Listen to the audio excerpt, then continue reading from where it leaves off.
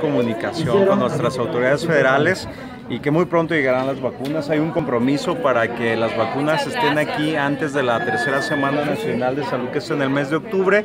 Eso nos permitiría completar los esquemas de vacunación del stock de algunas vacunas que sí se han acabado. Y bueno, eh, esperemos que este esquema, que es uno de los mejores a nivel mundial y que en el que Guanajuato siempre se ha distinguido por cumplir sus metas de vacunación, este año no sea la excepción. Entendemos pues que es un tema... ¿Estas nuevas vacunas, Son necesarias, todas son necesarias.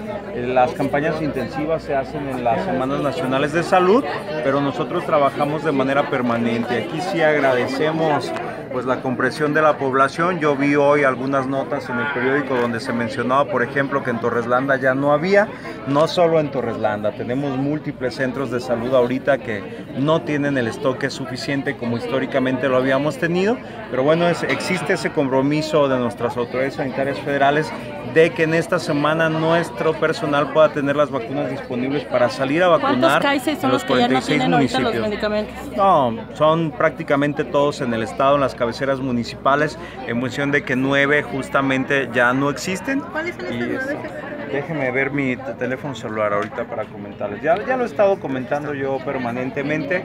Decirles, por ejemplo, miren, tenemos muy poquito de toxoide diftérico para tres meses nada más. La vacuna, la vacuna de virus de papiloma humano nos quedan 19 mil eh, dosis, que eso ajustaría para entre 10 y 15 días.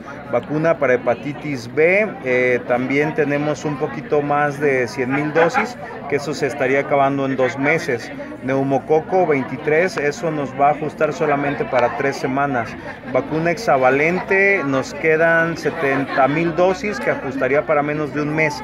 Y ya no tenemos ninguna para sarampión y rubiola, tampoco tenemos toxoide diftérico, hipertusis, vacuna para combatir la polio, tampoco tenemos ninguna, eh, DPT ninguna, BCG ninguna, pentavalente, rotavirus, neumococo conjugada, SRP e influenza no tenemos ya ninguna dosis. ¿Para Entonces, cuánta gente está en riesgo por la falta de eso? Todo el estado, bueno, entre comillas, porque hay que decir que el estado de Guanajuato, que siempre ha cumplido con sus metas de vacunación, se hace algo que en salud pública se llama inmunidad de rebaño. Nuestra población está protegida, desde luego que hay que completar esquemas, poner los refuerzos, vacunar a los recién nacidos para evitar riesgos de brote. Pero preocupa que no se esté entregando con regularidad. Pues este año no se ha entregado, solamente las reservas desde el año pasado hasta ahorita. Yo quiero pensar pues que es un tema de transición, un tema administrativo, que lo he comentado, no tendría por qué afectar la salud de la población, pero sí estamos muy confiados de que esta comunicación que nos ha permitido tener la federación y que nos están garantizando o asegurando de alguna manera que las vacunas estarán aquí antes de la tercera semana de octubre, eso bueno, de alguna manera que permitan que haya esta comunicación fluida y que nos vayan diciendo paso a paso cómo va el proceso de licitación. ¿Cómo le van a hacer para el año que entra? Porque pues de repente sale un diputado de Morena como José Luis eh, como Prieto que dice que es una cortina de humo cuando no existen.